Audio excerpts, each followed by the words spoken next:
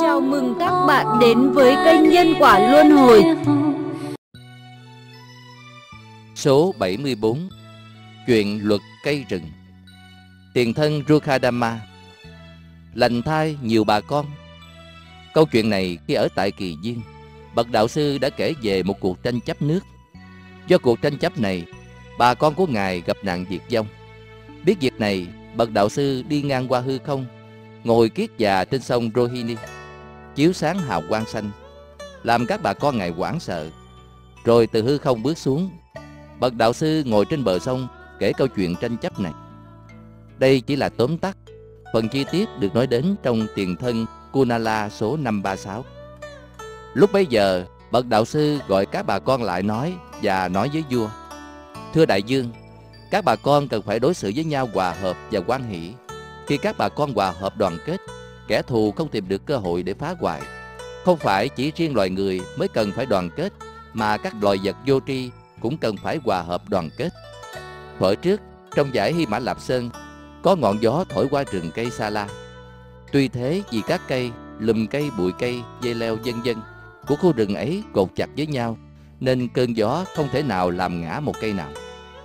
Chỉ thổi lướt qua trên đầu cây thôi. Nhưng trong sân có một cây sa la rất lớn đứng một mình, đầy đủ cành cây, thân cây, nhưng không cột chặt với các cây khác, nên gió thổi bật gốc, ngã xuống đất. Vì lý do này, các vị cần phải sống hòa hợp, quan hỷ với nhau. Nói vậy xong, theo lời các tỷ kheo yêu cầu, bậc đạo sư kể câu chuyện quá khứ. Thuở xưa khi vua Ramadatta trị vì ở Ba La Nại, đại dương Vesavana Tỳ Sa Môn thứ nhất mệnh chung. Đế thích đặt một vị vua khác thay thế. Trong sự thay đổi này, vua Vesavana mới kế gì gửi thông điệp đến các thần cây, lùm cây, bụi cây, cây leo, vân vân. Các người hãy tự lựa chọn trú xứ mình ưa thích.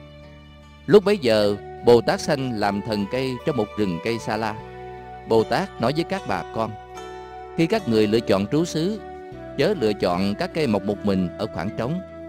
Hãy lựa chọn trú xứ xung quanh chỗ mà ta đã lựa chọn trong rừng Sa La này.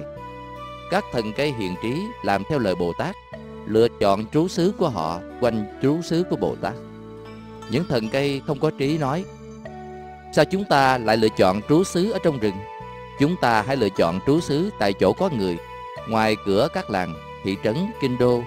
Vì các thần cây sống gần làng nhận được lễ vật cúng dường tối thượng và danh vọng tối thượng. Vì thế, những thần cây ấy lựa chọn trú xứ tại con đường có người, những chỗ có cây lớn, tại các khoảng trống. Một hôm, mưa to gió lớn nổi lên. Những cây xưa nhất trong rừng có rễ ăn sâu chắc chắn đã kiên trì, đứng riêng biệt trong quá khứ, cũng đều bị gãy cành và thân bị bật gốc rễ và ngã xuống. Trái lại, khi giông tố thổi qua rừng, các cây sa la đứng thành nhóm cột chặt vào nhau. Tuy giông tố có đánh mạnh chỗ này chỗ kia, nhưng không thể làm ngã một cây nào.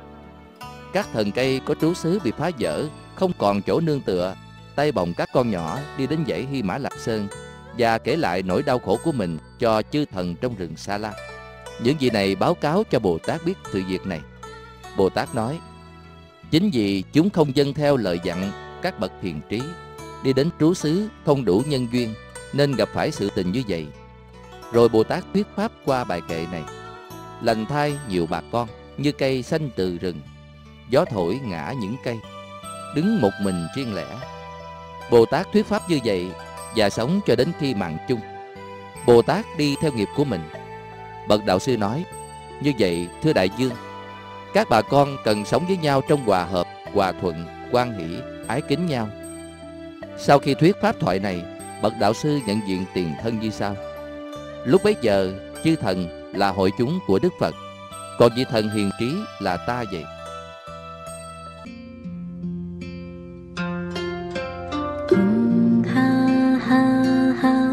问三摩地所。